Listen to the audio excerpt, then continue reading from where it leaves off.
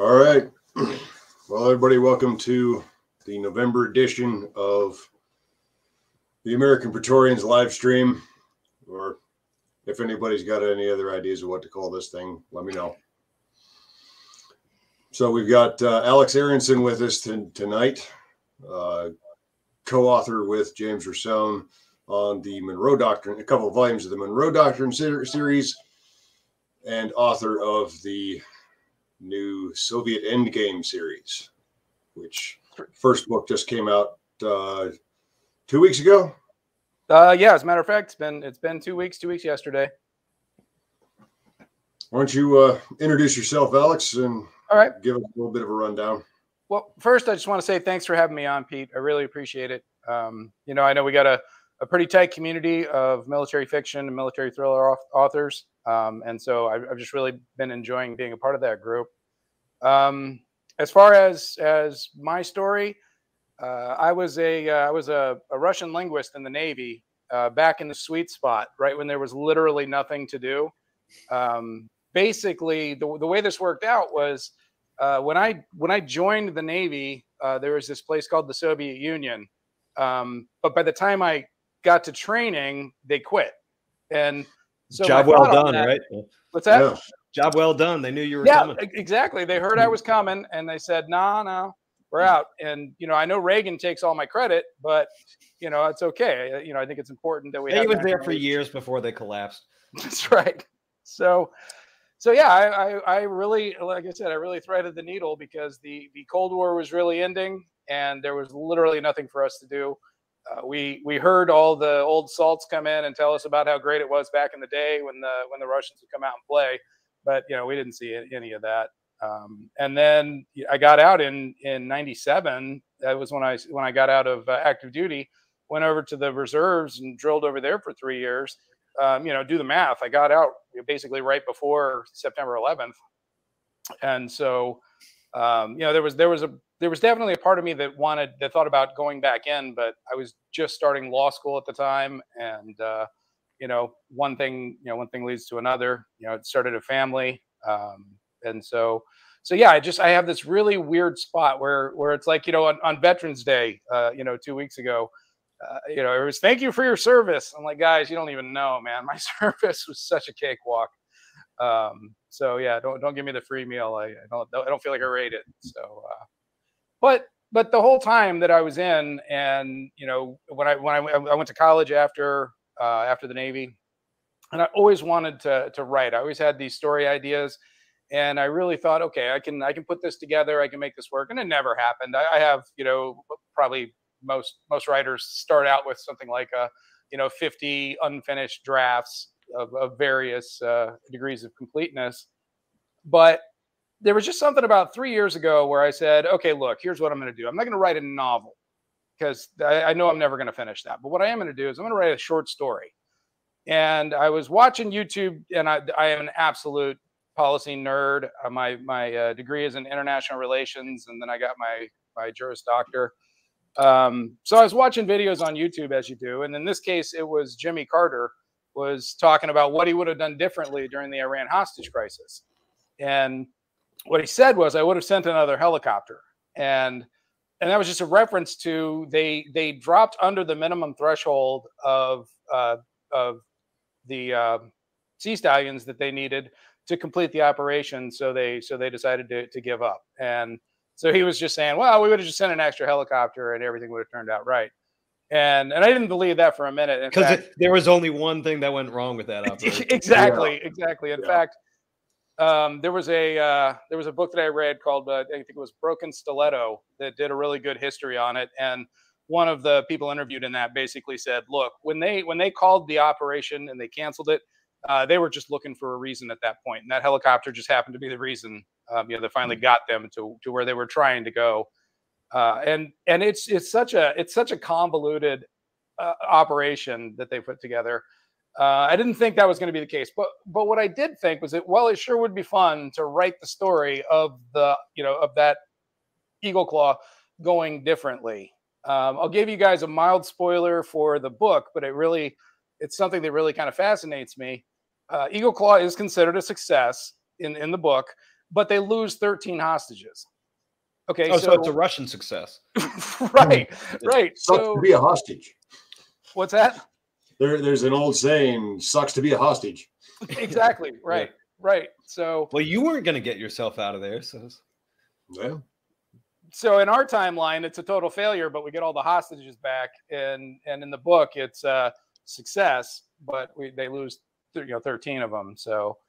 Um, but yeah, that so I decided I was going to write that as a short story, and and I did. I wrote it. it. Had a beginning, a middle, and an end. I was very happy with it. But I thought, oh, okay, well, well, we can we can probably pick this up and and run with it. And so what I actually did for the next thing was I did kind of the same exercise, only I wrote up the uh, the Soviet invasion of Afghanistan in '79.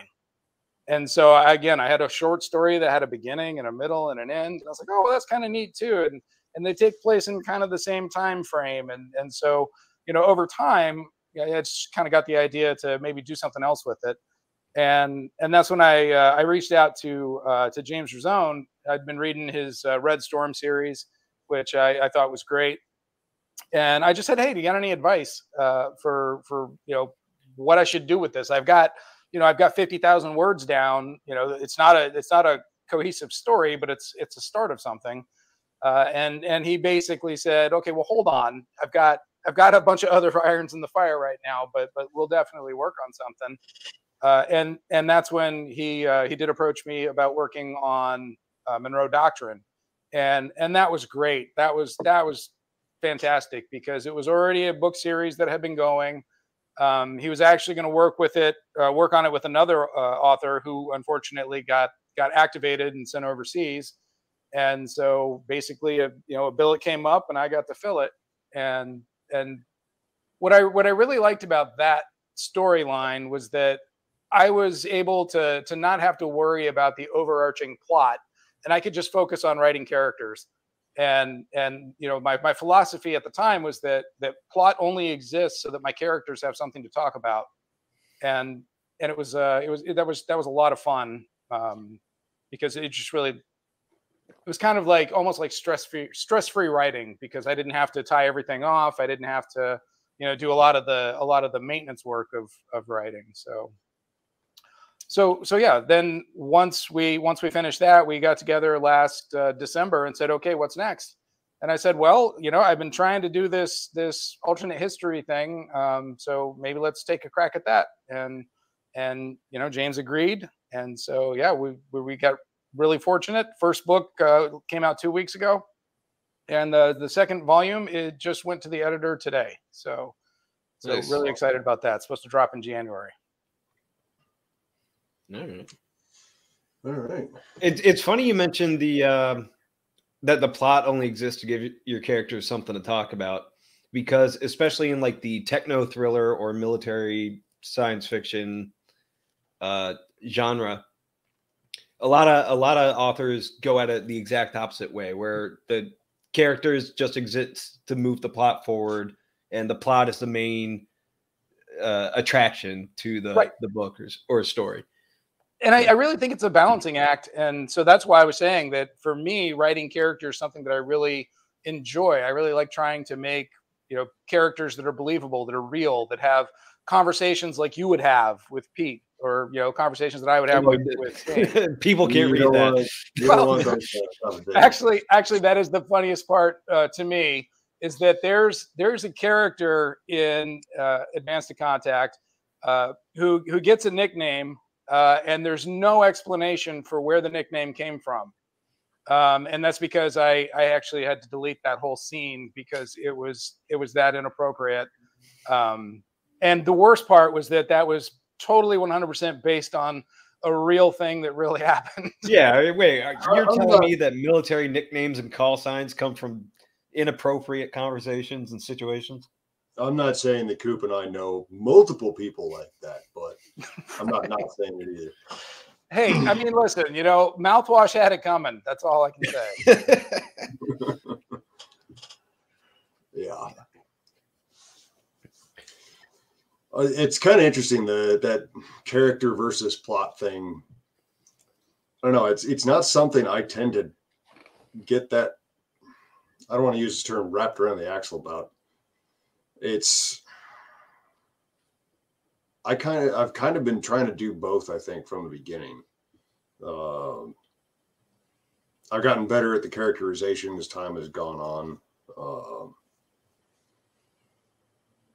and some of that I think came from largely the, the series that I just uh, put one out, the number 12 of out today, uh, Brannigan's Blackhearts, because I had I had initially intended the series to be a more of a standalone, so I had to kind of be able to introduce each character at the beginning of the story. Right.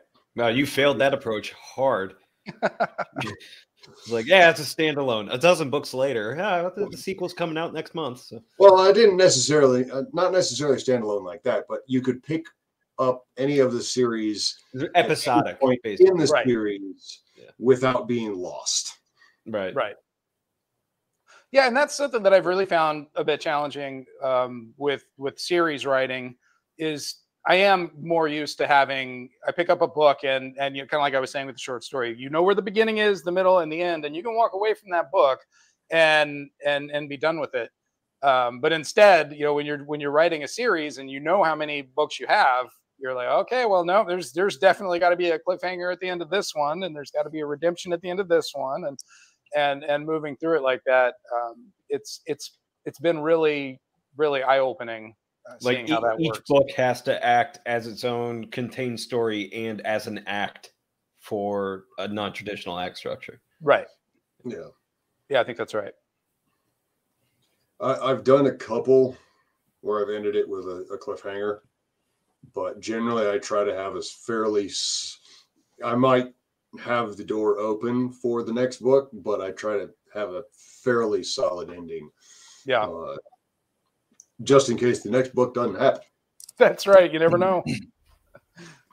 Yeah, that's Uh, why you know in this case, you know, we planned it out as a as essentially a five book, you know, arc, and so I, I at least know where I can finally, you know, get that conclusion. Um, you know, and, and God willing, I don't win, win the lottery and walk away from all this, you know, four books in. But uh, That's right. I, don't know, I think Song if of and Fire is a five-story arc.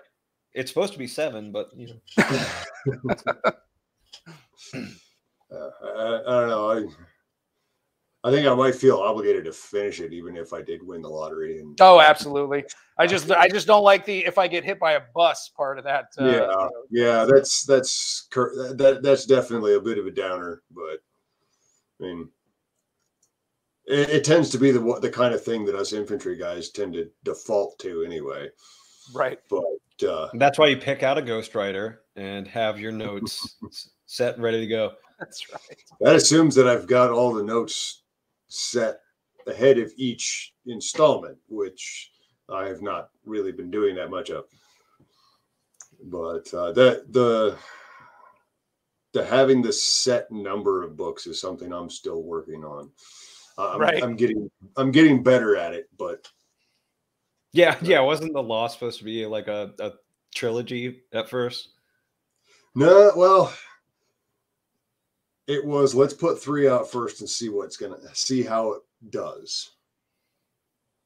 And then Ice and Monsters did well, so I started thinking huge, like Galaxy's Edge te- huge. It's the it was the chem lights on the cover, man. That's what did it. That's what sold the books.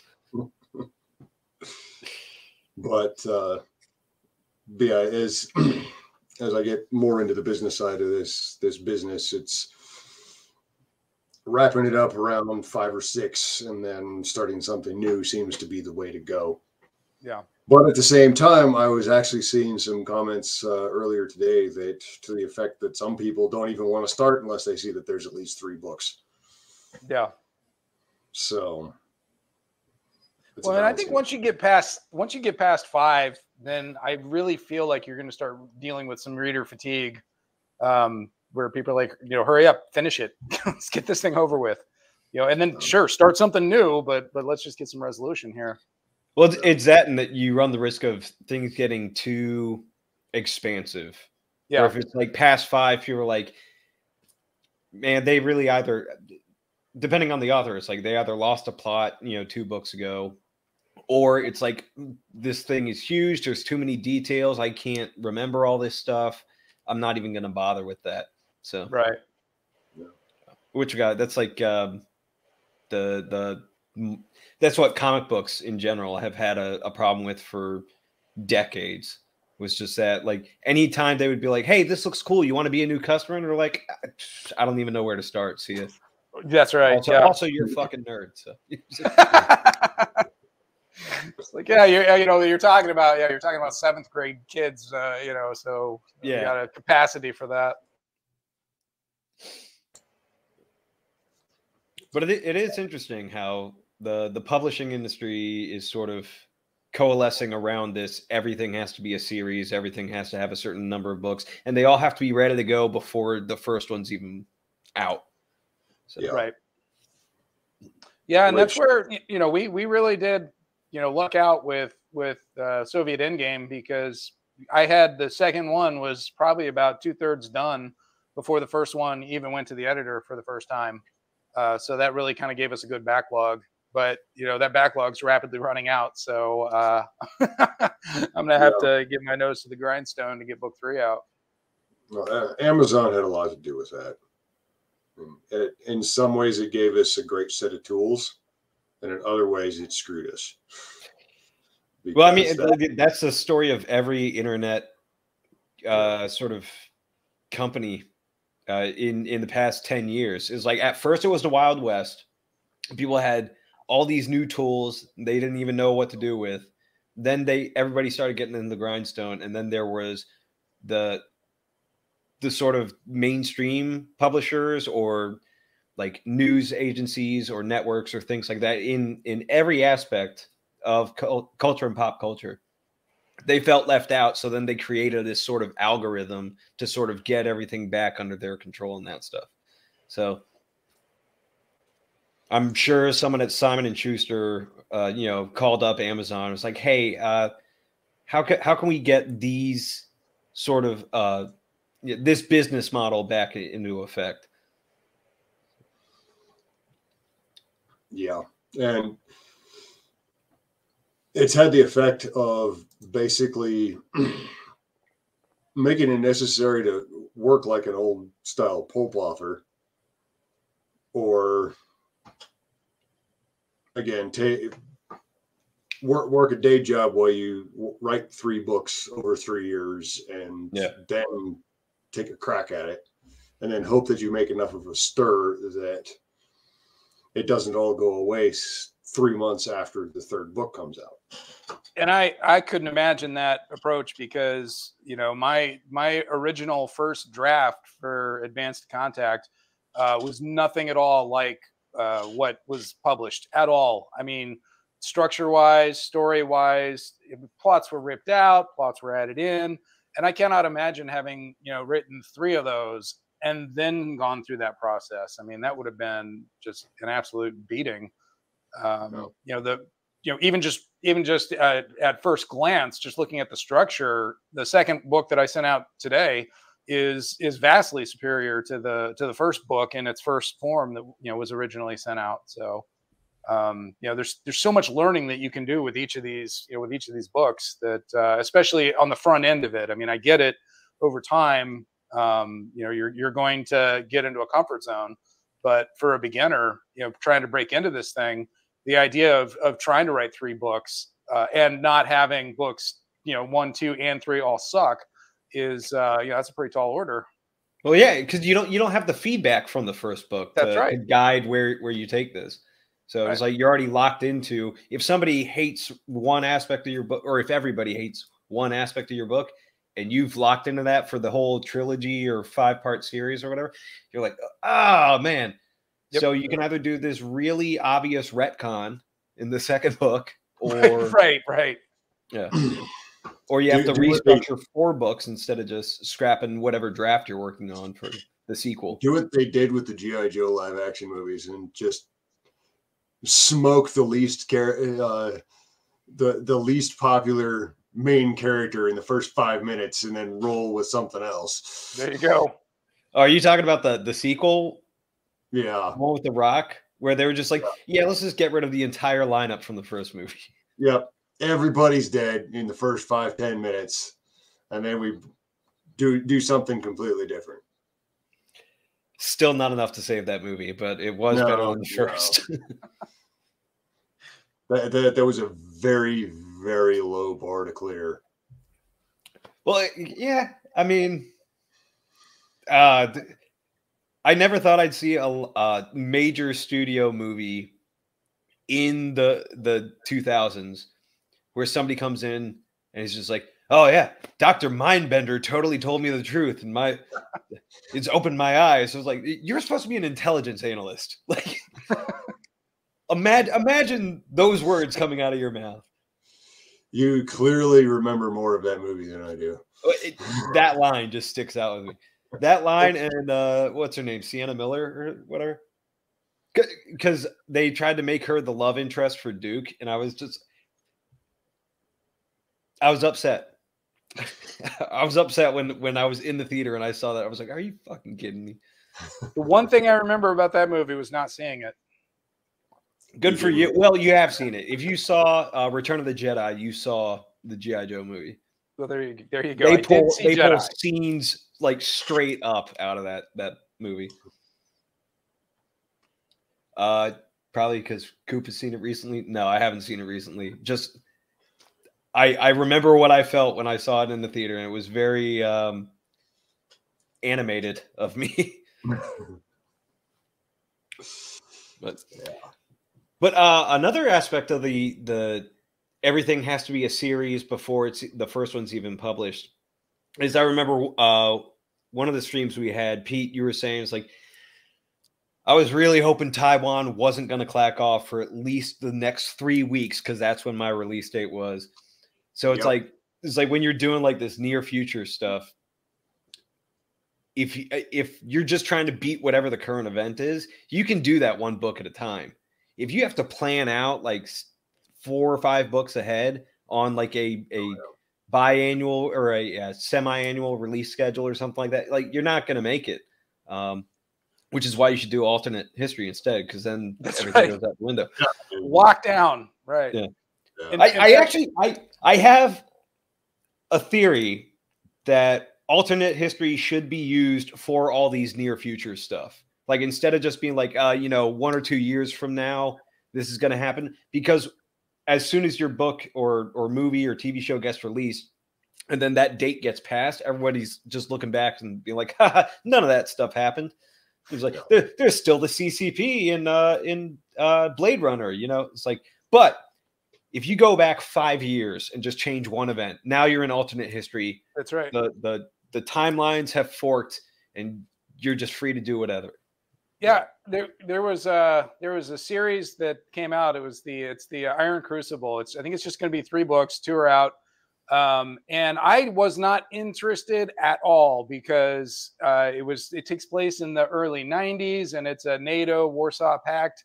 And Nothing like, good came out of the '90s, dude. That that would just be a, a straight on NATO ass whooping. That would have just been you know, a 100% bloodbath. I'm not interested in reading that story. And if you didn't write that story, then you clearly don't know what you're talking about. Um, but then, you know, I got to, I got to tweeting with uh, with TK Blackwood, the author, and uh, and I'm like, yeah, this is a good dude, and he's really smart. So I should probably give his book a try. And within the first couple of pages, he he has Brezhnev being assassinated in the in the early 70s and so the timeline switched right then and everything made sense after that and i'm like oh my god this is brilliant this this book's great so oh. yeah um it was it, it was one of the the good parts about the original red dawn was that you know everybody looks at the concept and be like this is ridiculous this would never happen it was like no if you look at the the prelude that they right. give you know the yep. the scrawling text it's like everything you knew about current events is not happening you know it's like right. ukraine is in a famine oh wait never mind right yeah they laid it all out there right in the very beginning and and you know and they literally said you know the us stands alone and yeah. you know all of and i mean you know without without giving too many spoilers um yeah boy wouldn't that be interesting if uh, if the soviets in the in the 80s had managed to really gain a foothold in in Central and South America. Boy, that that's sure. I wonder, man. Somebody should probably write something about that. um, and so one of the one of the reviewers of the book actually called it out. He's like, "Oh, it's a prelude to Red Dawn." like, well, maybe not quite, but a lot of uh, famous and, and popular works of media have become uh, have come from that idea of like I want to make a prequel to this unrelated thing. Right. Uh, which got the the one that comes to mind is the Night of the Living Dead. That was uh, George Romero read I Am Legend. That's right. And wanted to make the uh, like the story of how the world got that way. Right. Well, he couldn't he couldn't get the rights, so he he couldn't do vampires, and so he decided to do zombies, and he couldn't afford stuntmen, so he decided that they would walk slowly rather than than me running like the the 28 days later zombies right. ended up being. Yeah, actually, I Am Legend definitely had a huge impact on my life because uh, my old man was stationed in uh, at Cubi Point in the Philippines. So I was watching the Far East Network when I was in second grade, and the Heston movie, The Omega Man, yep. comes on TV. And oh my God, as a second grader, I just fell in love with that movie. I'm like, did you see that? And spoilers, he dies in the end. I'm like, oh my God, they killed the main character. Who They're not allowed that? to do that. Right. It violates the Hays Code. right. for, for, me, for me, that was uh, the Cowboys. Oh yeah. They oh killed yes. John Wayne. How could That's they do right. that? They can't yep. do that. It's not supposed to happen. Only in the Alamo. That's because like that it was yeah. it was history. Yeah. But it, uh, it's weird how I Am Legend in every single adaptation they've done, it's never vampires. It's always like either mutants or zombies or mutant zombies, but it's never vampires, which is interesting because the entire point of that book is how can we make vampires scientifically plausible? So, plus the the whole legend thing, the I am legend line doesn't work if it's not a creature of legend, if it's just zombies or, or mutants or something. Well, it's Hollywood. Hollywood screws up everything it touches. Yeah, but this was back when Hollywood had like half of them still had a mind on their shoulders. Yeah, yeah and I'm wow. going to say, you know, while they weren't vampires, you know, the the disco hippie zombie things in I am or rather in the Omega Man really worked for me as a kid. oh, these creatures of myth. Well, on the on the alternate history thing, I, I got because Option Zulu was the book that Coop was talking about on the Taiwan thing, where I was just please don't let Taiwan clack off before I finish this and get it out. Um, and then everybody can die. Like it's not the first time I've run into that situation either. I, I was in uh, 2014. I was writing the evacuation under fire of the U.S. embassy in Baghdad for Alone and Unafraid. While they were going out of the embassy in Baghdad because of the ISIS crisis. Yep. Yep. And I sweated bullets over that one for a little while, uh, for more than one reason. But uh, well, actually, I'm running into that even with alternate history because I've written and and I mean I remember when it actually when the when Ukraine first kicked off, I remember thinking, you know, oh well, we'll see how this goes. But but my my big quote, you know, leading into that when before the shooting even started was never underestimate the Red Army's ability to trip over their own dick. And and now it's playing out, and I'm like, ah, shit. All right, well, I've just I've just written you know 130,000 words of a competent Soviet Red Army. That's your alternate so, history.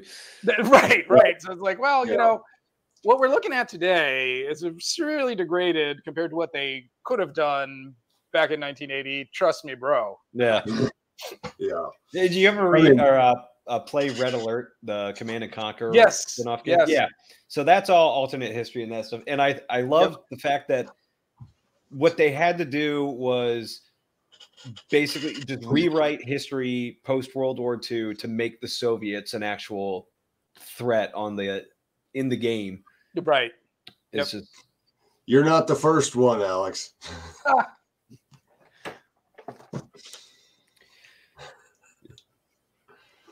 Actually, and, and have a Clancy show. I think this was uh, severely uh, underrated. I don't know if you guys know this one. The War That, the never, war that was. never was. Uh, Yeah, I don't know. is, uh, Michael Palmer. It's pretty interesting. It's uh, it's it's similar. It's it's in the early '90s, late '80s. Um, it's pretty good. It's mostly uh, kind of third person, omniscient, kind of telling the history, uh, you know, of the war that never happened. Uh, but yeah, Yeah. that one that one's pretty good. And and yeah, I mean, for anybody that writes a Cold War Goes Hot book to to deny that Red Storm Rising, you know, wasn't one of their their their favorite FAP novels of all time, you know, they're, they're lying. And there's a lot there. There's more of us than I expected, um, you know, taking this on. Um, I don't know. you- Have you guys uh, ever seen the World War III 1987 blog?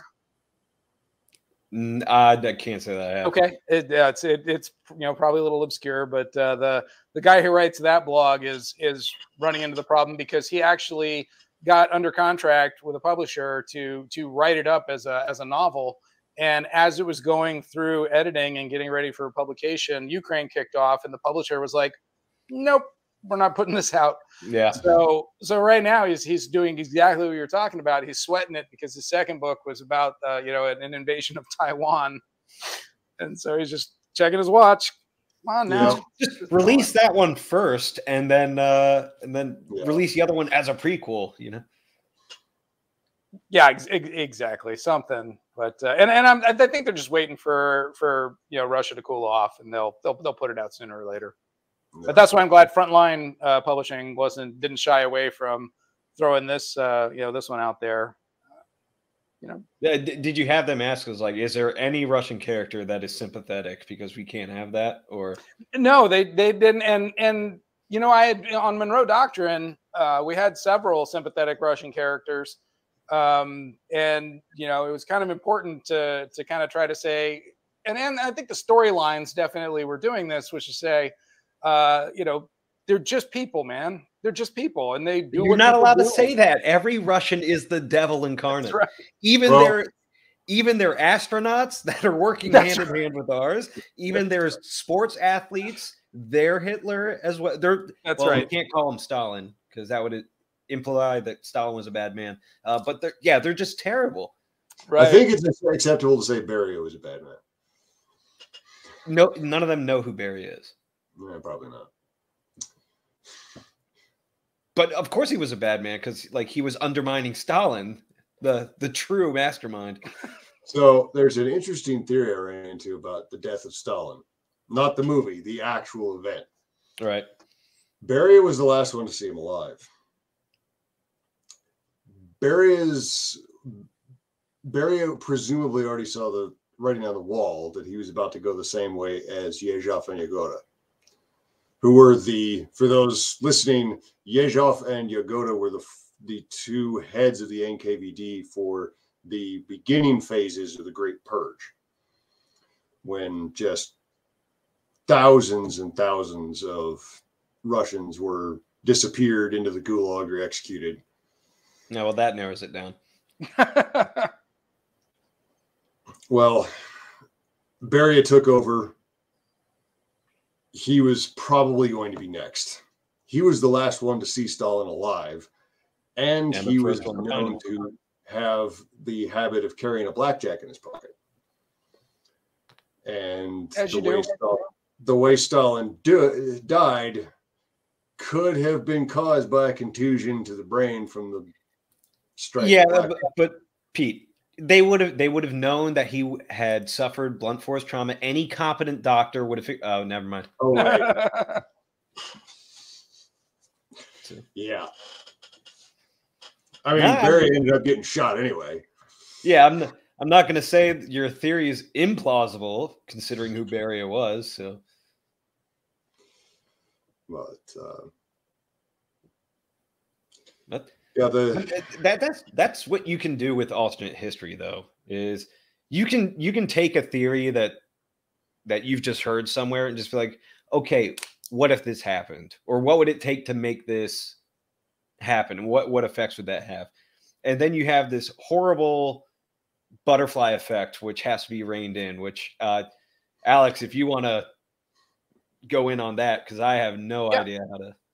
Well, you know, it, I I kind of have a little bit of regret uh, in in the way that I structured the story because the point of departure is so close to the to the beginning of the story, and and it's kind of interesting. Uh, the point of departure was really really vague because I didn't care, um, which you know I probably shouldn't say that out loud. Um, but but ultimately, it wasn't Eagle Claw going correctly that was the point of departure because I didn't think that that was ever going to happen um, it was actually the Shah refusing to leave and still trying to run the um, the the secular government under Prime Minister Bakhtiar. Uh, that was the point of departure, and so instead of him, you know, leaving and the Ayatollah coming right back in, you know, as soon as as soon as he boogied out, um, you know, that kind of made the uh, revolution drag on which is what caused the Soviets to say, "Oh, we have an opportunity here. Let's, you know, let's take advantage of it." No, Um, they would never. what's that? They would never. No, no, of course not. Um, but but so what I'm saying though is that because the point of departure is right on right at the beginning of the book, you don't have a lot of opportunity to play with with a lot of this stuff until you know the second you know going into the second book is the first time where I feel like I'm really seeing a lot of um, subtle changes. Like there are some real obvious changes. You know, where I mean, you know, again, spoiler alert: we end up at war with Nicaragua in the book. Um, you know, I, I remember that that didn't actually happen. Um, so, so there are definitely big changes, but it's the subtle ones that I think are fun. Um, like for example, and and you know, again, whatever, mild spoilers. But uh, one of my favorites in the second book is that because uh, McDonnell Douglas needs to keep churning out phantoms to replace combat losses, they have to sideline the uh, F 18. Well, now we have a pileup of, of engines that were being built for the F 18. Well, what are we going to do with those? Oh, well, Northrop is still building F 5s on the Pacific. So we're just going to re engine those with the F 18 engines. And does anybody know what that's called? It's the uh, that's the uh, F twenty one Tiger Shark. So Oh yeah. Okay. so so in, fighters in this never was. timeline, they're going to re-engine those. They're going to give them the Sparrow missiles, and it'll be the F five G. And and you know so the so in my timeline, I get to make the F twenty one work. So I'm pretty happy with that. The, the light fighter mafia got their way. Yep. Yeah. Well, As I mean, they and- should. No. it was it was really it, it's hard to argue you know what do you want? And you know the, the f5 at the end of its lifestyle life lifespan this is the as good as this airframe is going to get or the f16 which is you know brand new and and just at the beginning of its potential. Um you know and that's to say nothing of the hornet um which i mean you know as a navy guy i love that plane man. You know i didn't want to put that thing on the sideline but now it's just relegated to you know, I think like what two Marine Corps attack squadrons, I think is is where it's going to ultimately end up. Um, so yeah, it's it's yeah, that's and and then that's where I find so much of the fun, you know, in the alternate history is is to come up with with you know ways that that things would would break differently on a more subtle level. You know, um, that's not war with Nicaragua. That is, you know, one of Alex's favorite airframes actually gets to go into production. You know you know, nuclear aegis. That's probably a thing that's going to happen. You know, so Uh, I do tend to do a lot more of the the near future type stuff, except as a safeguard, I never attach a date to it.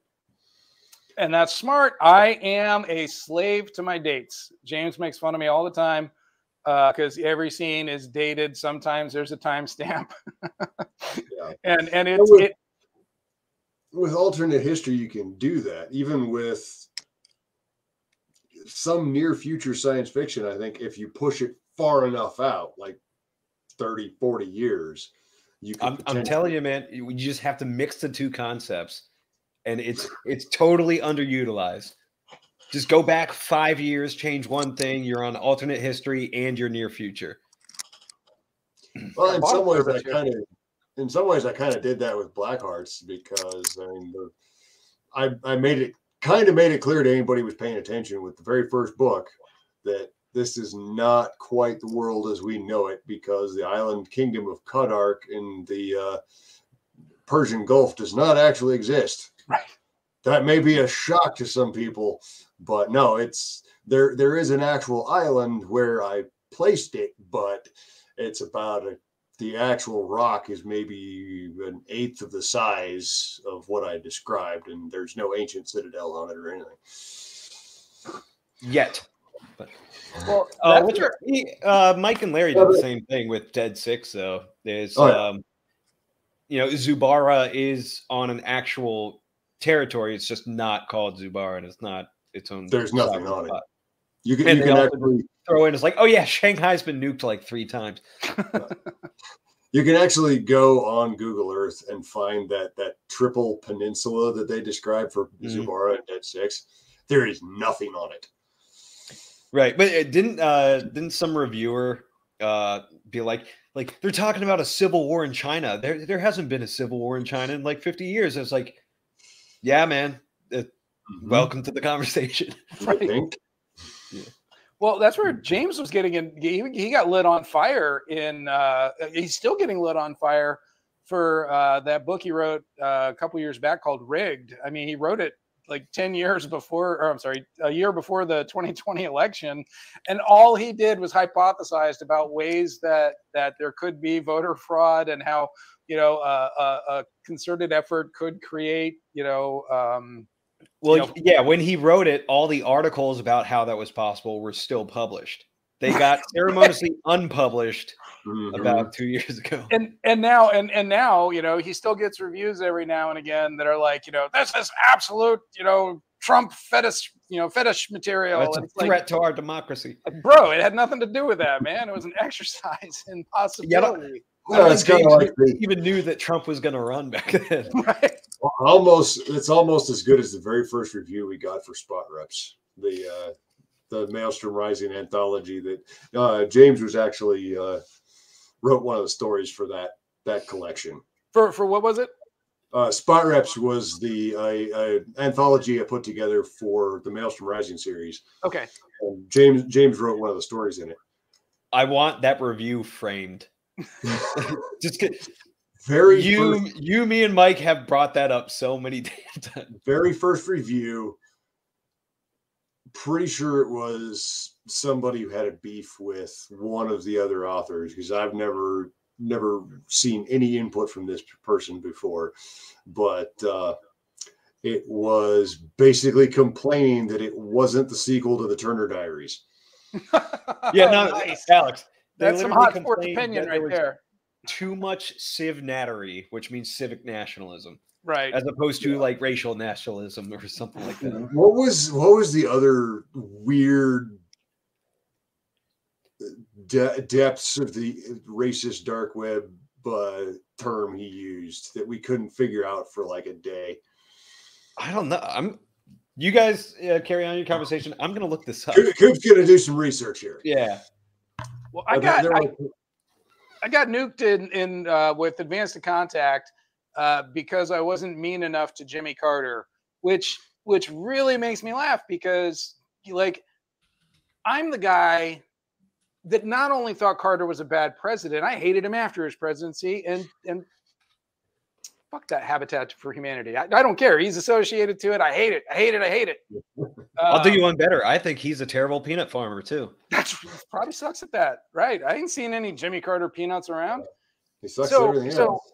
uh, you know, it's like I don't like this guy, but I'm writing a book, dude. So, Yeah. and and I know, and so so I know that that the Reaganites are are just you know waiting to light me on fire because you know I make I write Jimmy Carter in a sympathetic fashion. Well, spoilers in book two, George W. Bush is going to show up, and I'm going to get lit on fire by the left. So I'm pretty excited Yeah. about having everybody mad at me. Well, and actually, I will say this: yeah, the, the guy, the, I got I got one starred by a guy who said Jimmy Carter would be a terrible wartime president. I'm like, welcome to the series I'm writing. Uh, Pete, was it Naxalts? Yes. Yeah. Somebody figured out what it meant too, and I can't remember now. Um, I don't know. Uh, so, so, so the full context here. This is this is a one star review. Um, Full bore magic exceptions save the Magic Republic uh, by opting out. Nealen's previous books have had their share of magic naxalts, but his Civ Nattery has turned to Clown World. Murica in this anthology is a land of Hispanic gangbangers, evil Nazi. Uh, they spell it N O T S E E, so they're trying to to dodge an algorithm here. Right, right. Evil Nazi white nationalists, uh, Black Panthers, and the good guys. Like, I mean, were you were you expecting a mixture there, or just uh, Hispanics and blacks and goofy white boys wearing the magic uniform? So it's the fact that they're part of the armed services or a Or have- uniform band fighting together rather than just a gang war. Interesting. Yeah. Um, there is no sense of honor or a cause. Pete, how dare you? You, you didn't put honor in your spot reps anthology? Funny, I thought we did, but uh, I think this guy has uh, a little bit different definition for words. Yeah, I, I can tell because the next line is so there's no sense of honor or a cause, and the evil is dot dot dot. Wait for it. Oh my God, Marxism and communism.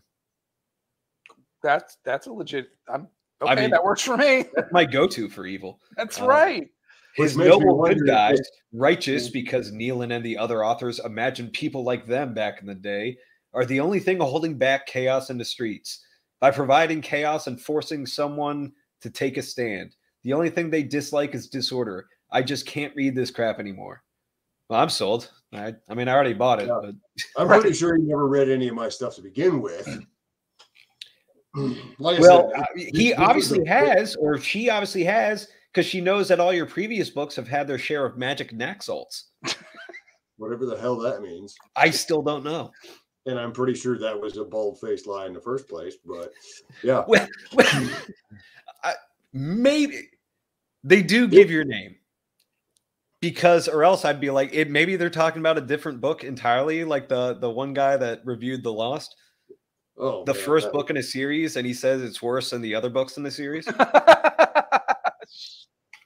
Yeah. Whoopsie. and, and then goes into plot points that have nothing whatsoever to do with. Yeah, yeah, yeah. I was disappointed that you going through the uh, that through you wasted so much time on a romance angle in the first book where there is no romance angle. No, there, there's just fighting monsters and people dying and horrible sorcery. Okay, it's a little romantic. I get you. but uh, Right. I'm looking this up in case uh, the FBI comes knocking on my door. Um, Hmm.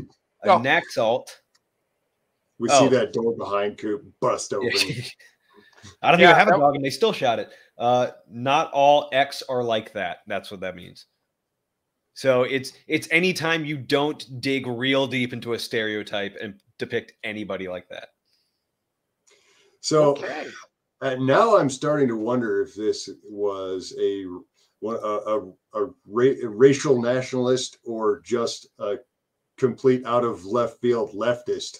It sounds like Yeah, those those are are overlapping I- far more than we like. I right. There's a lot of room in that Venn diagram, right? Man, uh, if only a country came to mind. Um, South Africa, no. no. No. Rhodesia, no. China, no.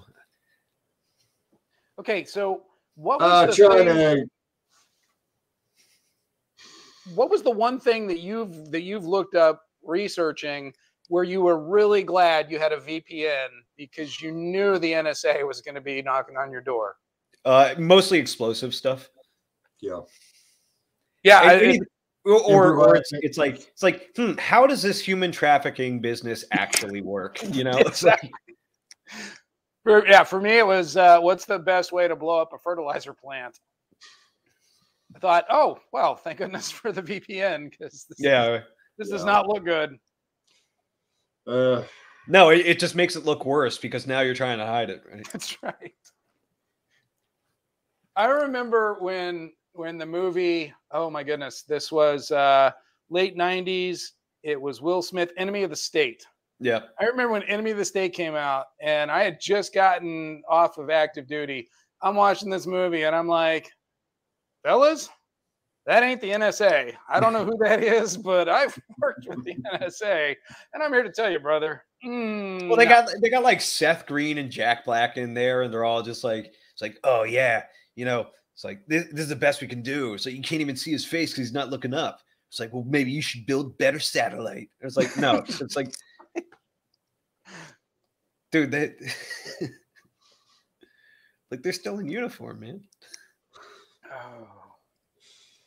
Uh, Pete, well, Pete, what uh, research have you done that you were just like, mm, this this stuff's gonna bite me in the ass?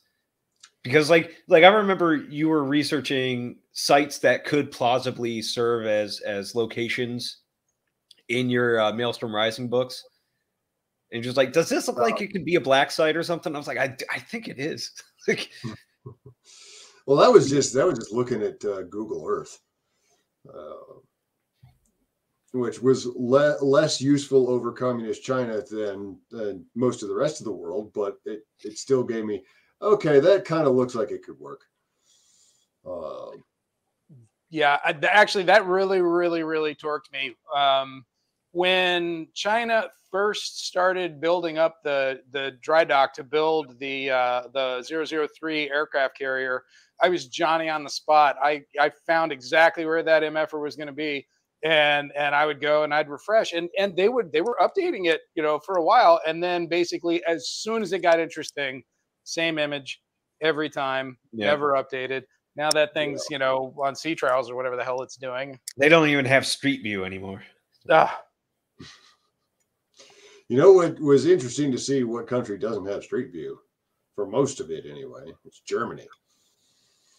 Like interesting I could get down into Street View in some very obscure parts of Mexico to plot firefights, but Germany was overheads only for most of it. I here's the thing. I, I don't want to give them credit, but it might be that they're still um, sensitive about a bunch of surveillance in the streets of Germany. I think a lot of it. Why would they be? Why on earth would that be? Well, here's the thing: a lot of what Germany's done, I'm just like you're just repeating yourselves now. But for some things, they're with they rainbows. are overly sensitive to the point that they'll overreact in the complete other direction. So I think I think a lot of it has to do with EU privacy laws more than anything else. Yeah. But, have well, you tried it in like France or another EU country? Um, a little bit. Okay. Czech Republic wasn't too difficult. Uh, it seems to be more Germany than most of the rest. But I think some of these countries view the letter of those privacy laws in different ways too. It's not quite the big happy family that they want everybody to think it is, which I, I may or may not have written a few things about in the past. Uh, I mean, imagine wanting Britain back. when I was, was uh, doing Monroe Doctrine, I was able to street view all the way up to the main barracks of uh, what was it the the uh, Russian 53rd Naval Infantry Brigade in uh, Vladivostok. I mean, you just walk right up to the hey, look, there's the building. Isn't that great? Yeah, that's right. The building's still there. They're not anymore. They're... right? Yeah, they're... which is probably why they've ripped all the plumbing out and sold it on the scrap market. Oh yeah. No, they're using those as weapons. yeah. New tank guns. I, I will point out that if what you read what did the Russian doctrine, go ahead. What did the Russian army use before the T sixty two? Well, I mean, they had the T fifty five. The T eighty. Yeah. Oh, yes. Oh, right. Yes. Yes. That's right. I knew where the joke was going. I yep. forgot the more modern model though. So it's just like I've you know, and for me, I'm I'm stuck in uh, in brain mode because I've been writing T55 scenes left and right uh, because I have a, a Polish uh, uh armored uh, brigade or armored division as one of the units that they're following. So hey, don't worry. Now you're gonna have like live action video to use for right. That's yeah. right. That, that's gonna be great for the ads. just just take screenshots of that and yeah. throw it in like the AI art thing. You've got a new cover. That's right. Yeah. just a little bit selective on the clips so that the clown show that is the modern Russian army isn't quite as obvious. right. Yeah, I mean, you know, like I said at the beginning of the thing, I was predicting underperformance. In fact, I went so far as to say I didn't think they were going to invade outside of the eastern uh, uh, area just because they would be afraid of underperforming on the international stage. And so they would they would concentrate where they knew they had public support um, you know the russian ethnic areas and that they wouldn't mess with anything in the east. And i mean i was wrong but mm, it's kind of right. Well i've got a better track record than some russian generals so. Exactly. I, I think there may be some some merit to the theory that was floating around a few months ago after like what 150 fsb officers got shit canned Yep, uh, we were talking about it with James. Yeah, that the FSB was supposed to bribe enough of the Ukrainian government that they just fold as soon as the tanks rolled across the border. They didn't figure it was ever going to happen, so they pocketed the money. And as you do. Yeah. Yeah. Have you met a Russian? And then it happened. Oops. yeah. Man, I you know, and that is that that is the the thing that separates um the West from everybody else is that while we have corruption, we don't have corruption on the scale that everybody else is corrupt. You know, we, we no, think that. And I've, I've said the same thing about like military prowess because everybody, people rightfully look at the US and be like, that is the greatest military on earth right now, probably undefeatable. It's like, sure, but it's not because we're good. Because I've, I've served in the military. We are beyond stupid. It's just that everybody else sucks worse at it. Like, which is scary, right. but you know. And, and, it comes down to that that that whole element of corruption. You know, when when you take all that that diesel that you were supposed to use to to run your you know your run your equipment every year and you sell it on the black market, all of a sudden your shit's going to fall apart after mm. you know a couple of weeks in the field. So, I mean, yeah, that's just insane. I remember I was doing some research on uh, to, trying to figure out gen- general Russian tactics. This was a few years ago when I was I think back on book four of uh, Blackhearts because I was I put that one in Transnistria, that little breakaway one of in hindsight, I can say you already overthought it. well, what I found, which I can't the the the video in particular has been erased from YouTube anyway. It was a video of a live fire exercise of some, I don't remember which guards army or something like that. And I'm sitting there watching it, like, wow, this is a clown show. Even back then, it's like their CQB is jump into the fatal funnel, fire a three round burst through the door, and then run in. Have you considered that they've already gassed the place? well, the only way that could work. well, it depends. Do they have hostages or not? No, wait, no, it doesn't. they did, but but it's it's not even just like the regular forces because uh, you remember the the mystique of uh, uh you know GRU and and um was it Spetsnaz and all that. It was like, oh man, in their training they allow for like this many dead dead guys and this many casualties. They're way harder than the US. I was like, yeah, but looking at what they do, it was like they didn't have to allow that.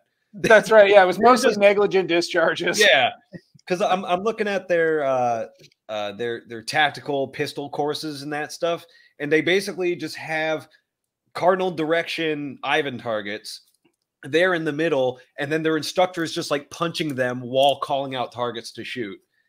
And it was like, first off, the guy ND'd like five times in the video it, itself. Um, and this is what they chose to, to put out as the propaganda. Uh, the other thing, I was like, dude, he flagged everybody. He flagged the cameraman. He flagged every no shoot target. He flagged the guy punching him, which at that point, is it still flagging? But, you know, um, it's like, dude, they're, they're on some. The Israelis are more trustworthy with their tactics than than the Russians are with that. Yeah. Are you guys are you guys familiar with Russian mill pop? Yeah, Mil- military pop. Channel, that sounds like something Mike's shown us. That, that it is so I like to listen to music to kind of put me in a place when I'm writing. So when I was writing um, Advanced to Contact, I was listening to a lot of uh, 1979, 1980s pop music. You know, it's like put you in a, in a spot. Well, when I was doing Monroe Doctrine, I'm like, all right, let's see what the Russians have got because I'm writing Russian characters in a modern context, and I'll be damned if and this must be changing, but um, yeah, there's a whole genre of military pop music where they they put out videos and and they're they're rapping as hard as they can rap and and there's you know shooting going on and and you know you can see the the guys jumping off of the BDKs taking the beach and um, it's it's it's fascinating stuff but one of the earliest examples I saw of this was a song about the VDV by a Russian pop artist who was in the VDV years ago. and you're watching this video and they're doing the training. And I am not kidding, man. A dude like jumps an obstacle and as soon as he hits the ground, Indy, you're like, have and this is what seen, you're showing us. This is what you want us to see. Have you seen the re lyricing of that video? no. This came this came out very shortly after the invasion kicked off. VDV lost like all of them. Right. and so somebody went back and just changed the uh, the subtitles. Right, to, easy to uh, do. More fitting of recent events. That's oh, it, it was great. Uh, let's see. And then uh, which got like uh, Pete and I saw one where they they got like this this famous Russian um, singer. She's you know very gorgeous and all that. They dress her up in like this uh, pseudo aristocrat sort of olive drab green you know dress and have her sing about Spetsnaz and how glorious they are and and how you know great Russia is. And we're looking at it and we're just like, dude, these are this is like 511 gear. Oh, it was a ton of Russian gear. Like what? the only thing that wasn't U.S. designed were the yeah. AK. Yeah. The no, those were probably Jim Fuller too. If you if you really want to look at it. Uh, Century Arms. but oh yeah, d- dude, that that VDV video. Uh, Oh, and that's just the tip of the iceberg. And then I, am I'm, I'm I, sure, but that that's the one that I know very uh, intimately because it was the most hilarious thing I saw after the uh, the invasion kicked off. That's fantastic. I, you know, and that thing's been around forever. I mean, yeah. I think it was 2009 the first time I saw that. It sounds like, but it still looks like it's it was shot in the 80s on. Like, of course, yeah, yeah, yeah. Uh, yeah. And in, as a matter of fact. Yeah. That's it. It's like an after school special.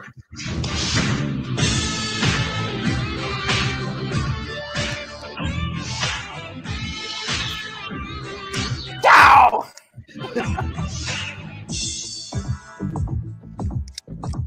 They're flagging everybody.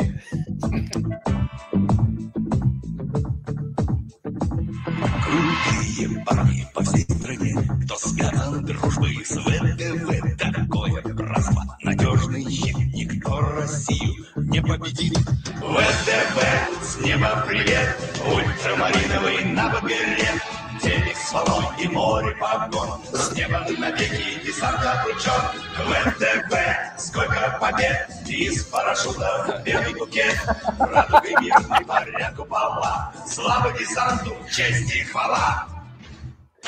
В Центральном парке салют в Москве. Мечтают парни об РТВ Любым оружием. Владеть легко Знамя победы главней всего.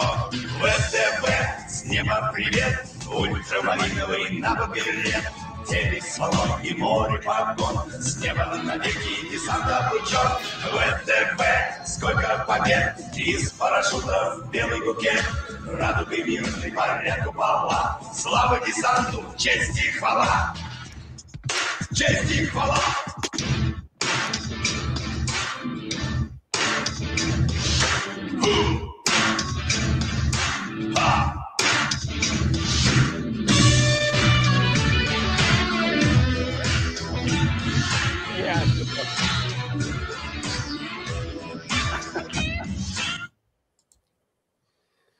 That's great, man. Uh, the Sead uh, guitar solo just to crown it off. see, back when people were just doing that stuff, that was hilarious. And then people made a hashtag to to be like, "Oh, we're fighting the meme war against Russia, and we're actually making a difference." And we're like, oh, God, no, shut no, up, Kinzinger. you're being funny. Yeah. I was gonna, Well, people- dude. Even some Very- Taliban uh, social media accounts had some pretty fire memes too, but it's like, it's like that didn't that didn't make us lose anybody over there. Right. Very was our own guys. people have a very inflated sense of their own Yeah. importance and effectiveness. Just look at all the meltdowns on Twitter over the last few weeks. It's glorious. Gotta say, it's been the most fun that that Twitter's been since uh, since I've been on. And frankly, I mean, you know, I thought Twitter was such a garbage, uh, you know, site to begin with. It wasn't until actually Ukraine that I got back on it. Um, you know, and that was just for the uh, you know open source intelligence. Yeah, dude, a lot of the OSINT uh, accounts for Ukraine were freaking the hell out when Elon bought it. They were saying, "This Yeah. is over. This is the end of the OSINT community." I was like, "Why?" Like, well, what did Elon? No, What do you think Other Elon was going to do about? yeah, other people are gonna say shit that you don't want to hear. That's the only difference. You know, here, Yeah. start curating your feed, man. It's, it's that easy. You know, Twitter's only as toxic as you want it to be. Yeah, well, th- that's the thing. It's like whenever they're like, they're they're bringing Trump back. I was like, you can still block him. Like that's right? And I mean, come on, man, he's not coming back. He has Yeah. no incentive to come back. Hmm. And I know Elon's trying to to tease him enough to get him to come back, but you know, brother has True Social, and he wants to drive people to it. So why on earth would he give it away for free yeah. on Twitter? So, and maybe I'm wrong. Maybe he'll he'll prove me wrong. But No, I, I think if he's smart, he'll he'll give his Twitter account to like whoever's on his staff or something to like get snippets from truth and put it on there. Just be like, see what you guys are missing or anything. Just and that would that would give him the same reach he, that he had during his 2016 run, which was kind of vital to him winning. So sure. His, his whole his whole Twitter feed is just screenshots from Truth. yeah, Exactly. Right. Uh,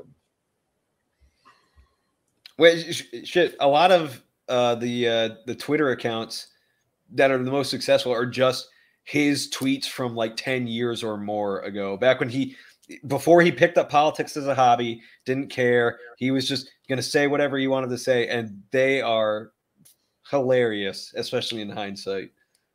Yeah. yeah.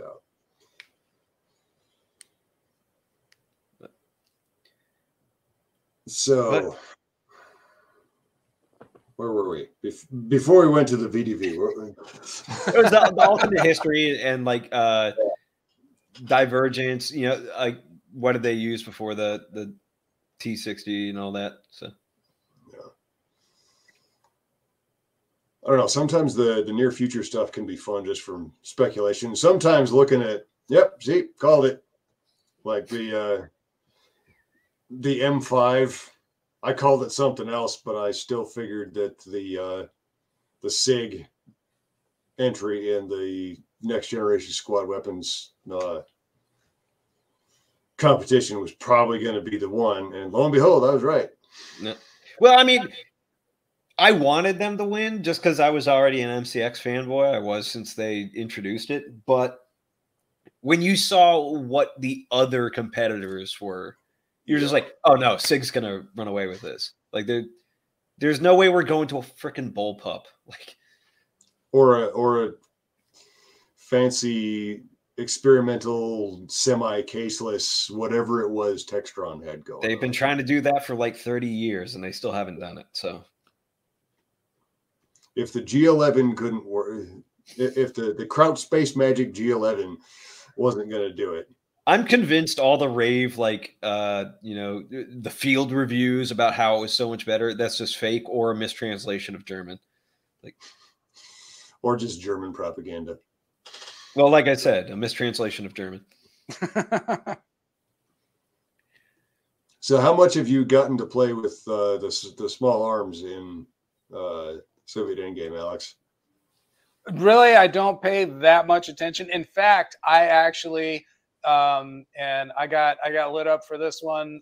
Uh, fortunately, it was a friend of mine, um, and I handed out some uh, M16A2s uh, way too early, and so uh, I had some three round bursts coming where there ought not be any, and so uh, yes. So they're just really good at trigger discipline. They could that's smell- right. That's right. They knew in that third shot. Yeah. Got got to stop. But, but you know what? You know, I'll own it, man. You know, that was uh I and and again, you know, and that wasn't the only uh, anachronism I had. Um, I also and and this one is just pure laziness. Um, but I also still had some like Third Infantry Division Sheridan tanks in in Germany, when in fact only the 82nd Airborne had Sheridans at the time. It's like, oh, damn it! You know, it's the things you don't think about. And I know where that came from too. And I'm so annoyed because, like, I intentionally didn't reread Red Storm. I intentionally didn't read, you know, Hackett's World War III book or, you know, Coyle's Team Yankee. I didn't reread any of that stuff because I knew that it was going to get in my head and I was going to accidentally write it. So at one point, though, I thought, what if it's already in your head and you accidentally write it? So you should probably read some of this stuff. So I picked up Hackett's World War III book and I was reading and it's like, yeah, Sheridan's in, in 1987, sure, whatever. All right. And then I didn't think anything of it until this guy reaches out and he's Rick's like, bro, that's not a thing. And I'm like, oh my God, that was totally because I was reading that stupid book. What the hell's wrong with me? You know, in lieu of research, I took a guy writing a book in like 1977 about a war in 1986 and thought, oh yeah, sure, that's how it's going to work. So, If only you could Yeah. change history for the sake of your story.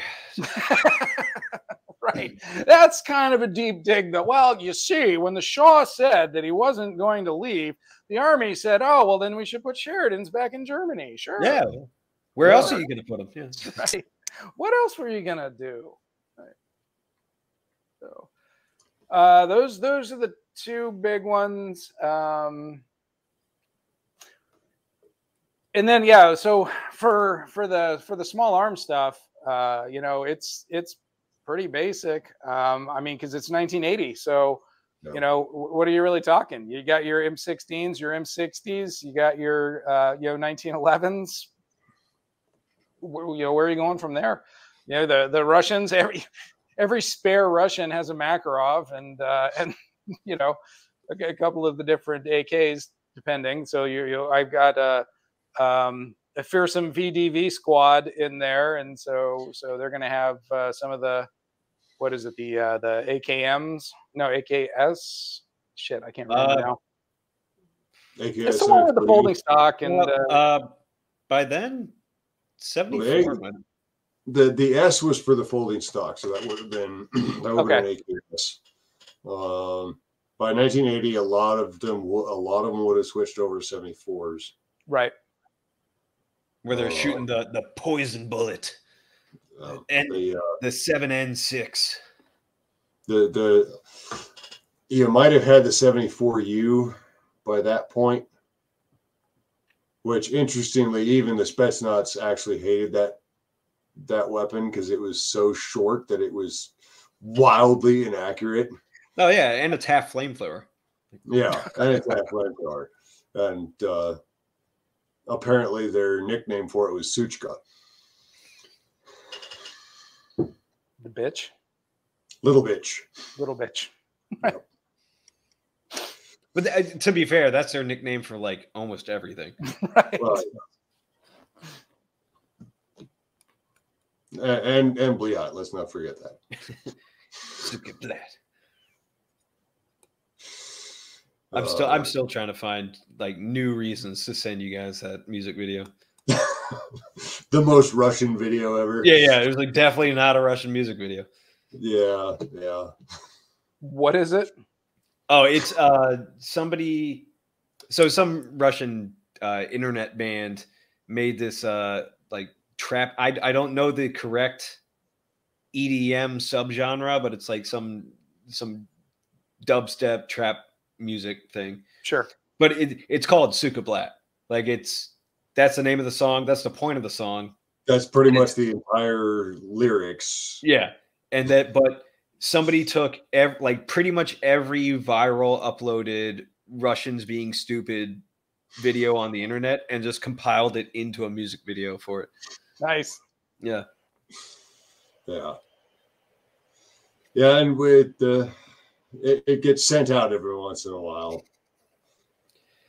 Well, because uh, Mike will always send us uh, a clip of just just something that comes out of Russia, and he's like, "It's like this is the most Russian thing I've seen all day." I was like, "Is it now?" all right, let's pull this one out of storage, which is very Here is Russian in and of itself. Just Here is the most Russian music video. and er- every now and then you have to take things out of mothballs. And we lost Alex. We got too close to the truth, man. Just Yeah. We hadn't even getting gotten into the the deep politics stuff yet. Uh, an hour sixteen in. Ah, here he is. Ah, sorry, I think that was me. All right. We were just saying it. Uh, we hadn't even gotten into the deep politics stuff yet.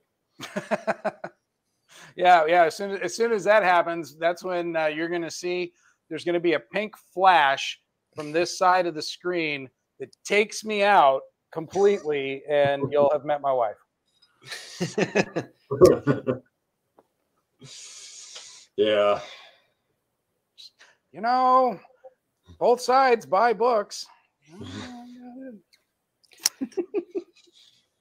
Yeah, but which side has the most money? Because the Russians don't, and Ukraine true. lost all theirs in FTX in a crypto pyramid scheme. So, They've got all my money.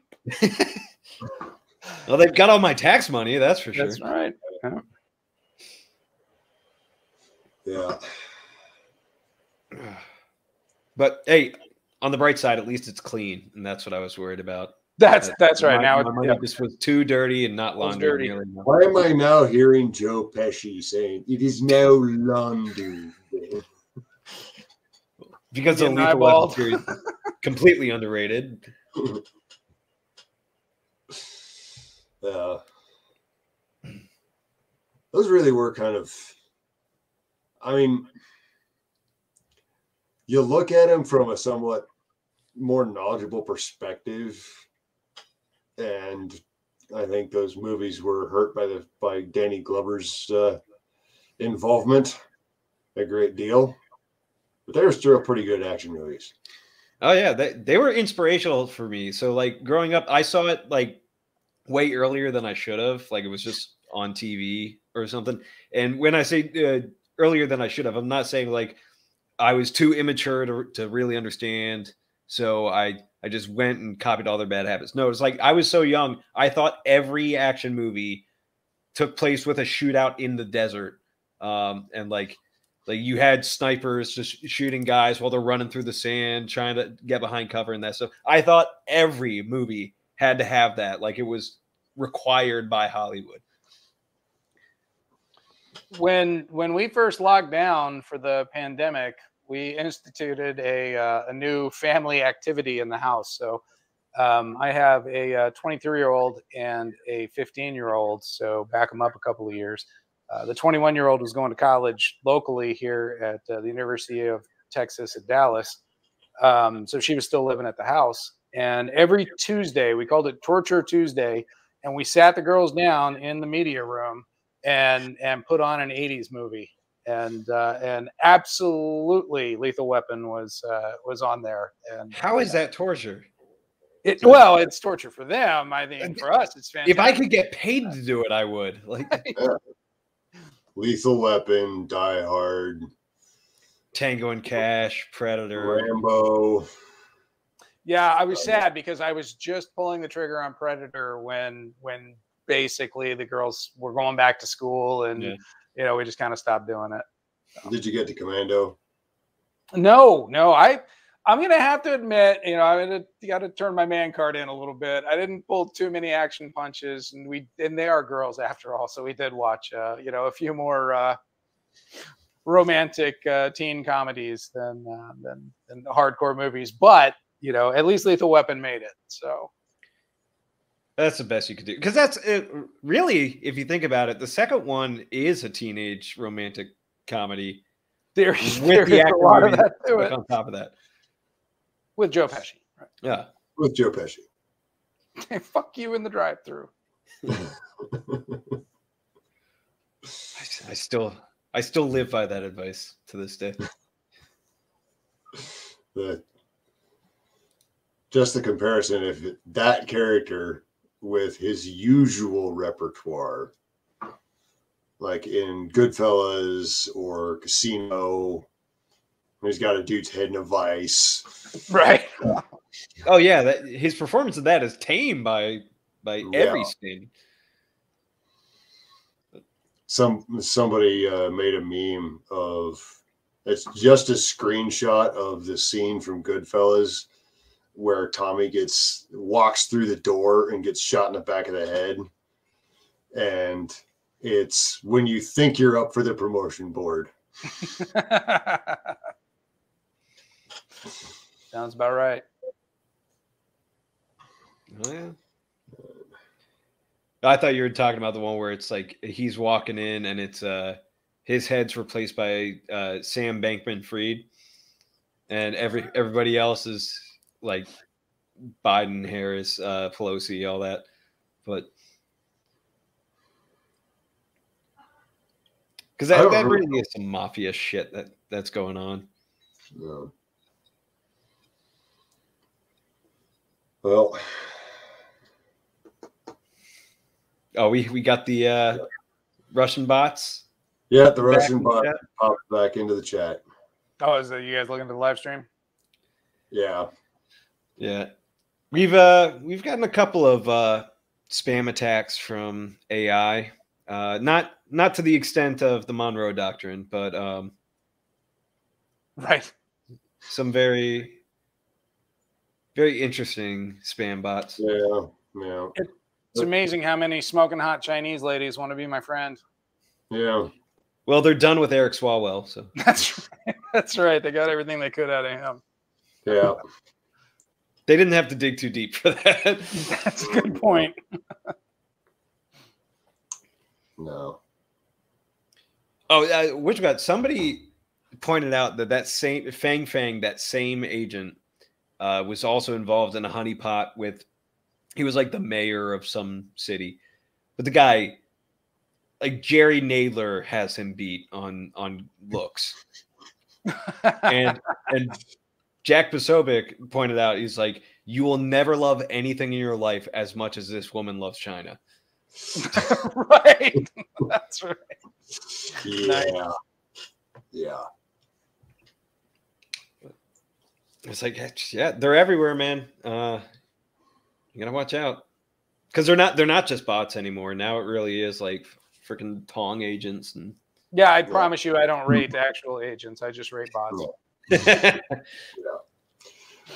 pretty much same here. There's been some weird stuff uh, popped up. Somebody, uh, somebody I know, um, ran this past me. I wasn't directly involved, but uh, some random Afghan dude was uh, hitting him up about trying to get in touch with another dude who'd worked Afghanistan for years.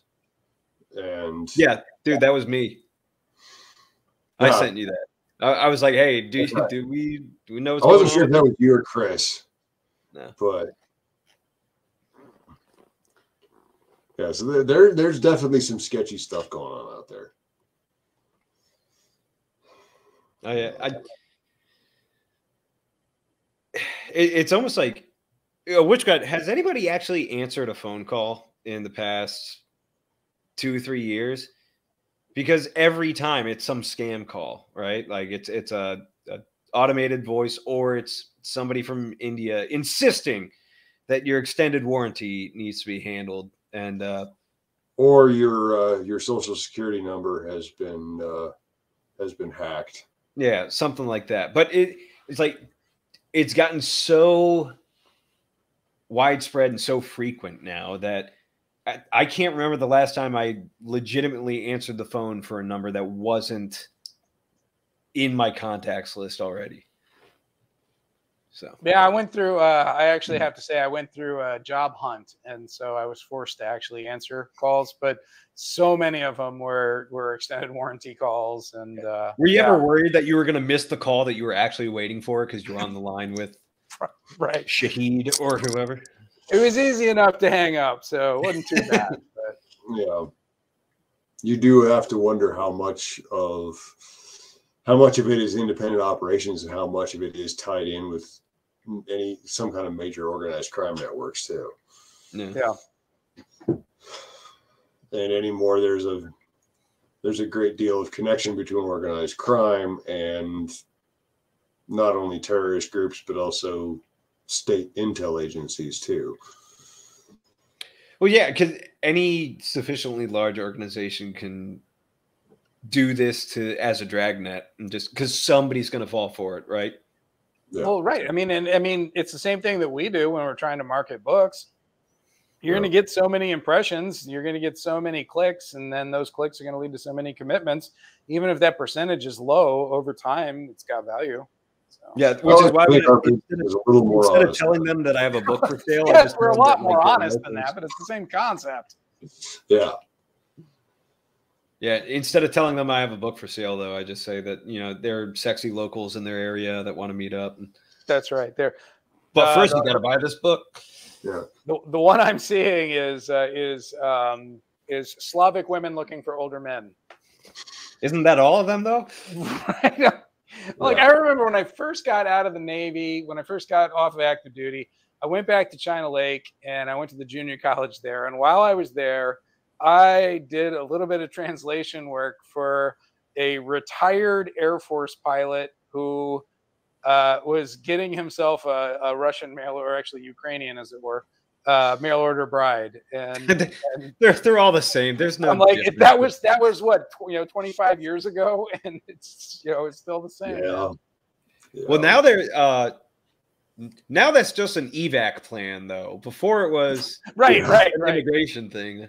Well, did you early nineties, it might have been an evac plan anyway. That's fair.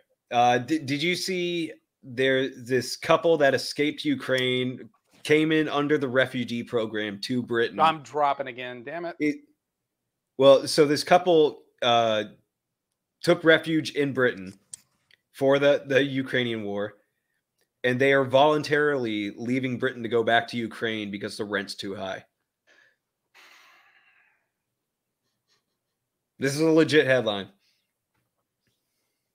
So Did you I hear mean- that, Alex?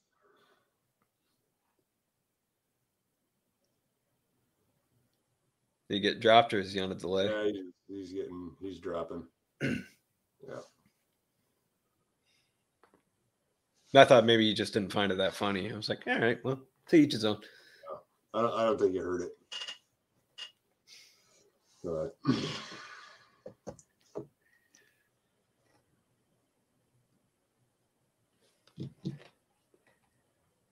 Let's see, can we get him back? Oh.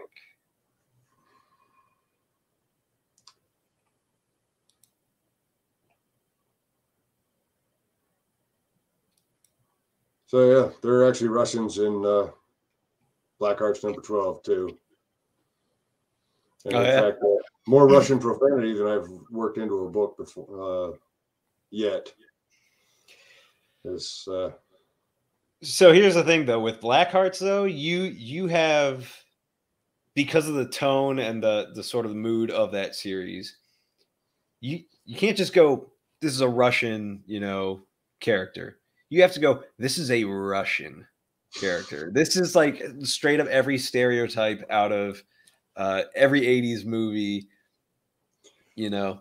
I'm not saying that old To the point where he's got to be wearing the striped shirt. Like, no, no striped shirt. He does have a uh, a red suit coat on. okay. And, So at least he's uh, repping the party.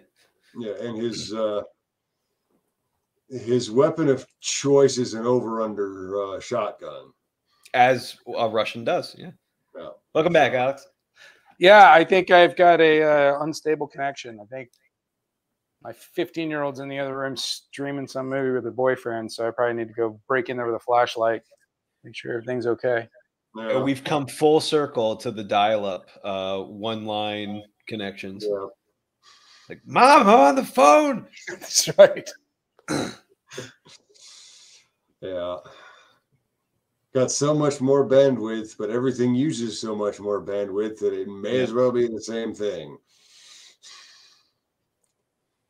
Oh yeah, yeah. What what is it? Uh, this I think uh, I read it on a fortune cookie once. Mo money, mo problems. Right?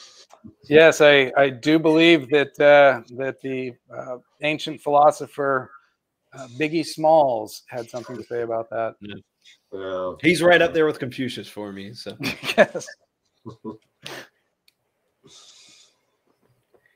Well, fellas, I think that my internet connection is telling me that I should probably uh, peace out on this. Uh, I know you guys usually go for a bit longer, but uh, I think I'm going to keep dropping. I'm not quite sure what's going on. all right. Uh, before Well- you head out though, where can uh, people find your your books? Yeah, absolutely. Um, you know, they're uh, they're really available on Amazon right now. We have the um, audiobook is in the works, but right now you can get the ebook, paperback, hardback. Frankly, the hardback's like what three bucks more than the than the paperback, so just you know run with that. But uh, yeah, yeah, currently available on Amazon, and when once we get that uh, that audiobook done, we'll uh, we'll have that up on Audible. Um, and then, of course, you can uh, if you you know search me up on on Twitter. I've you know I, I try to stay active on Twitter. In fact, we actually have a little uh, a little group. You guys might be interested. Um, it's called it's a community called War Porn. If you just if you just you know search for War Porn, uh, you'll find us. There's uh, some military thriller writers. Basically, I collected all of the Cold War Goes Hot guys, and then just started adding other people to it. Um, we're like 33 people. Uh, it's pretty it's pretty cool mix of of writers, uh, including some nonfiction guys. You know, most of us are military vets, not everybody. Um, so yeah, check out War Porn on Twitter, and uh, um, yeah, that's that's pretty much it. And if you're really desperate, you can go to uh, alexaronson.com and uh, or actually it's alexanderaronson.com because I wasn't thinking when I registered the domain. Uh, and and there, you know, there, I do a couple of other things. Uh, you know, there are some some maps that go with some of the battles in both the Monroe Doctrine and in uh, Advanced to Contact. Uh, so you know, there's a little bit of extra content there uh, if you're interested in it. Um, and you know, again, Facebook. Uh, yeah, I'm kind of all over the place. So if you just search me up, I'm pretty easy to find. All right. Awesome. Good and deal. hey guys I, I can't thank you enough for for bringing me in here um, you know i've had a lot of fun and and don't let my early exit uh, make you think anything otherwise um, but yeah you guys have been absolutely great hosts and and it's been uh, an absolute blast to do this i hope we get to do it again soon Oh yeah. Good having you. Be great having you. thanks a lot guys Have a good one. Did he drop out again, or is it? No, I think he actually meant to drop out. so yeah, so Alex's books uh, book is out, and the next one is coming out. You say next month Uh, or January? January. January, yeah. Yeah.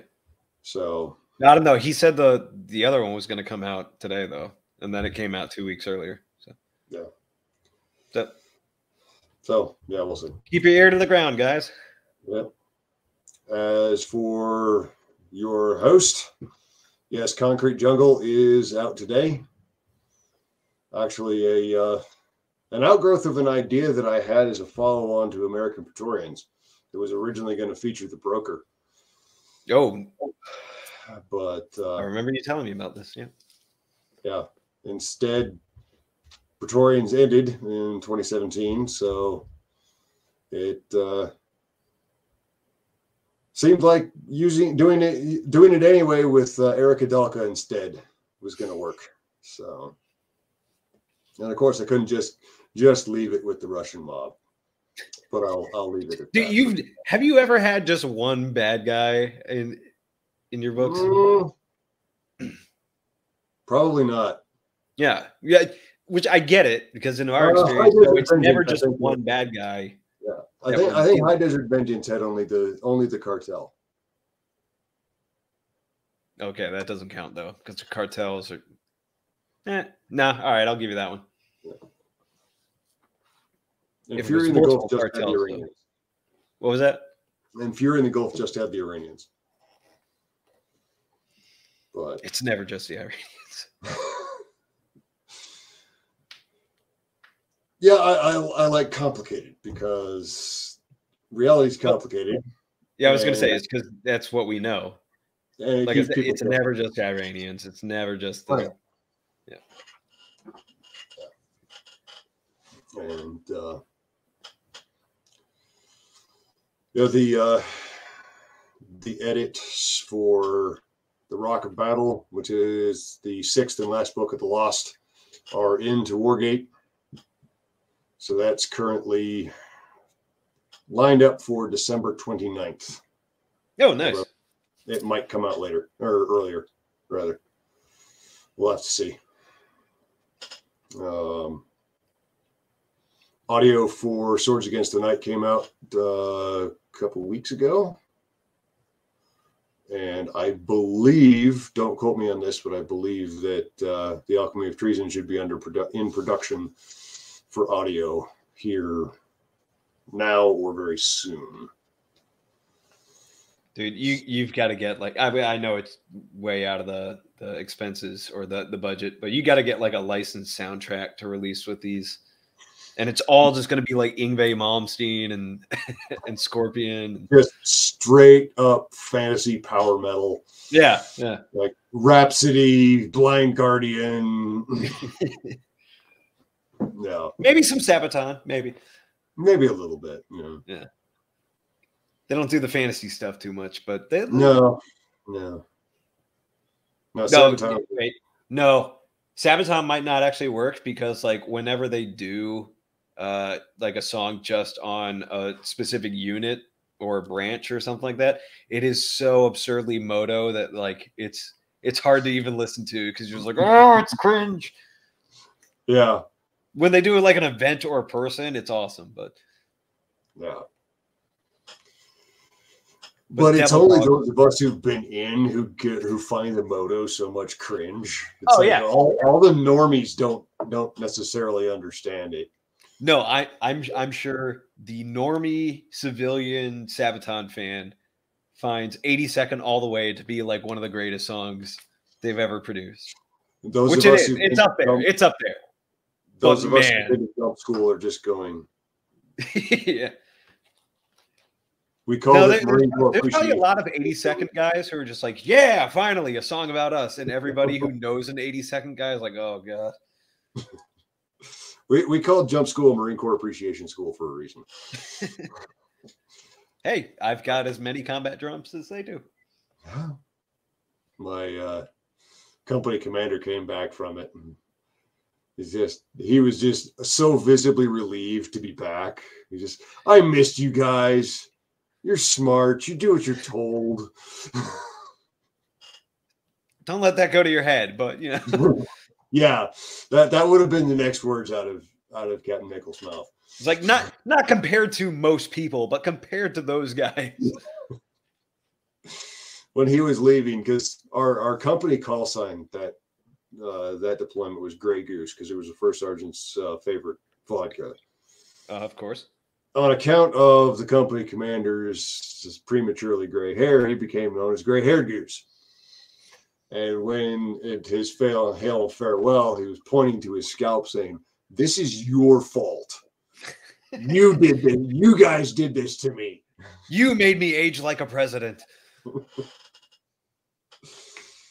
Uh, one of the best company commanders I ever had. Yeah, of course. No, so ones that like you, that are the problem. It's just Yeah. because they're just like, hmm, you never got it, did you? Well, folks, I think we've pretty much covered what we're gonna what we've got to cover for uh, tonight. Uh, it was mostly memes, but we'll we'll allow it. Yeah, hopefully gonna have uh, James Rosone on next month. And uh, until then, we will see y'all next time.